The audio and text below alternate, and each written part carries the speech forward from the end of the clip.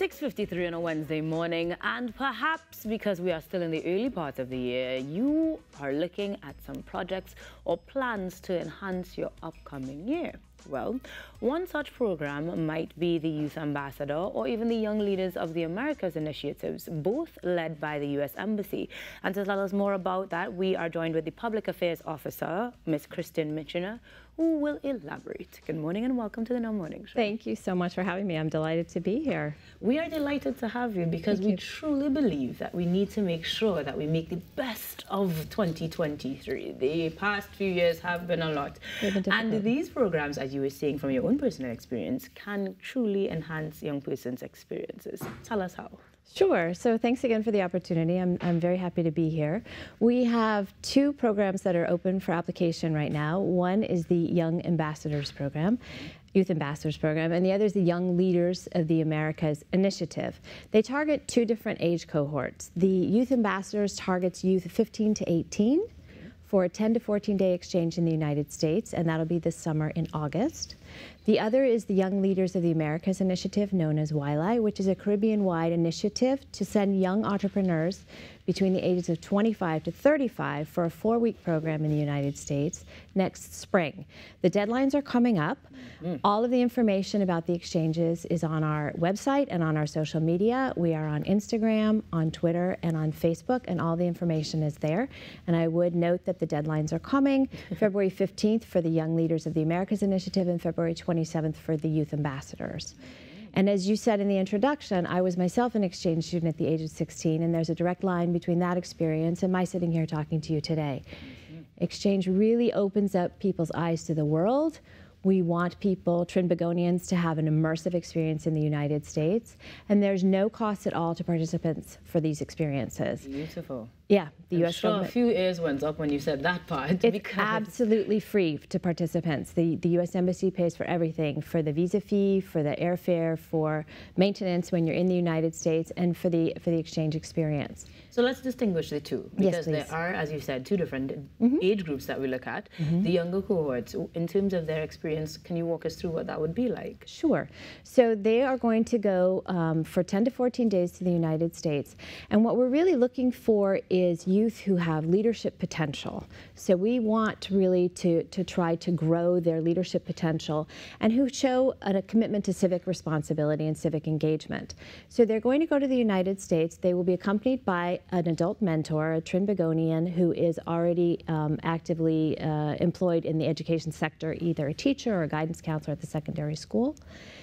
And the, the kids, when they go over, they will have courses on civics, on American government, on um, community engagement. They will engage with non-governmental organizations and learn how we do things in the United States in terms of becoming involved in our community. When they come back, they have an obligation to implement a community-based program here. So the, the kids can come from anywhere in Trinidad and Tobago, but they'll choose a community, and it might be environment is their issue, and it might be literacy, and it might be teaching, and it might be be anti-gender-based violence or something. We right. had a cohort from 2020, was very committed to environment. They're still together. They just did a beach cleanup at Las Cuevas.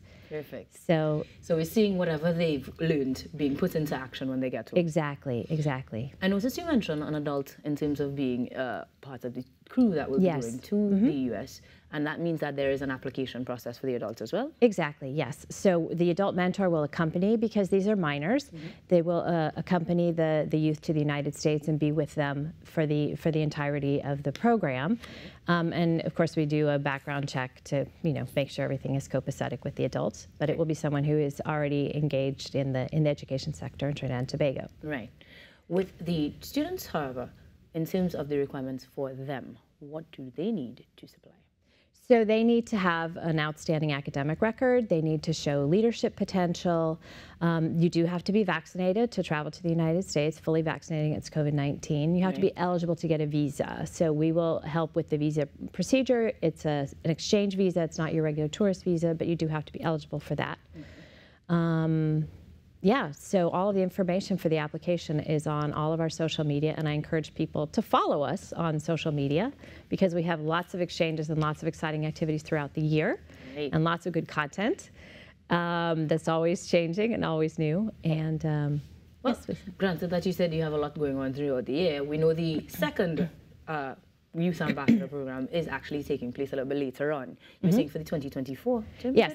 So the Young Leaders of the Americas initiative is for entrepreneurs ages 25 to 35 when they will travel, and that is in the spring of 2024. Right. And we're also looking for six um, entrepreneurs who have at least two years of experience under their belt with a social enterprise or a company in Trinidad and Tobago and they will be paired with a, an, a, social enterprise or a company in the United States that has some strength in a business skill that these entrepreneurs need. So there's an extensive questionnaire and application process that they go through, and what what the, what, will, what, they will gain from the program is strengthening their business skills. They might need help in marketing or in public relations or in communications or in finance or attracting capital or something like that. Mm -hmm. So the program will pair them with an organization that's not necessarily in the same sector that they are, but that has that strength and that business acumen and skill that they need to acquire. Mm -hmm. Sounds good. Yeah. Now this also would have its own application process, I imagine. Exactly. And deadlines for this particular course This one is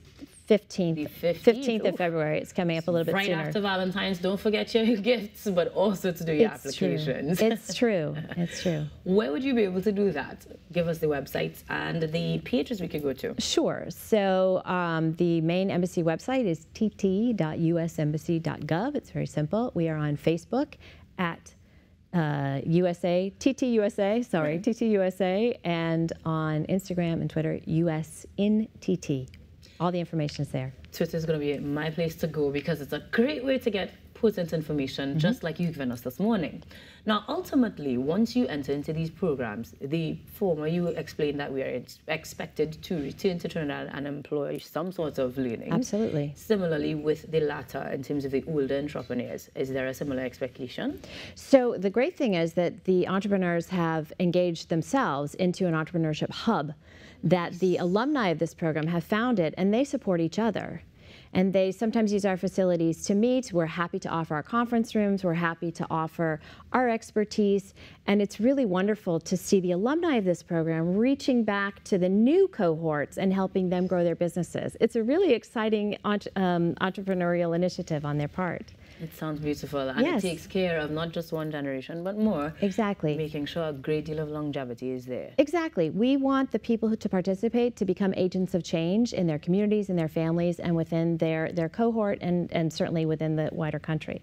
Well, becoming an agent of change is a beautiful way to begin the year, and so you can visit the websites, the Instagram, Facebook, Twitter, and other pages to make sure that you have your chance to enter either your youngsters or yourselves in the Youth Ambassador and Young Leaders of the Americas initiatives hosted by the U.S. Embassy. Mm -hmm. Telling us more about it this morning, I was joined by the Public Affairs Officer, Miss Kristen Michener, and I thank you so kindly thank for joining so us. And look forward to the other initiatives because you said there are many more throughout the year. Anything else we can look forward to? People should absolutely follow us on all of our social media platforms. We have scholarships, exchanges, and programming throughout the year. We have a robust schedule of activities and programs open to the public, and as I said, really great content. You can catch our ambassador um, getting ready for Carnival. We have a terrific video of her visiting mass camps. She was at uh, Couva Joylanders last night. She was at Phase 2 on Friday, so mm, And I understand you were on the pan crawl. Uh, mm. Yes, ma'am, I was. well, I hope you enjoyed it just Thank as much you. as we enjoyed having you here this morning. Thank you so Thank much. You for joining us. And you guys stick around. We've got more things to add to your calendar or inspire your year ahead right here on the Now Morning Show. We'll be back.